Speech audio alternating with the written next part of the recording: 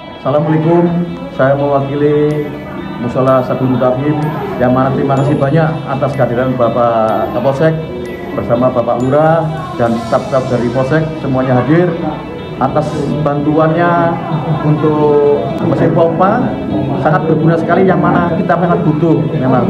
Dan supaya lebih me- memberikan faedah karena kadang-kadang kelangkaan daripada air bisa digantung pompa saya kira juga dan Al-Quran untuk anak-anak kita atau bapak-bapak menambahkan semangat untuk lebih gairah membaca Al-Quran saya banyak-banyak terima kasih kemudian mudah-mudahan pemberian ini diridhoi Allah dan berkah untuk Bapak Kapolsek dan beserta stafnya diberkahi amin karena di saat Jumat ini sangat-sangat banyak mudah-mudahan keinginan kita dijabai Allah Subhanahu wa amin.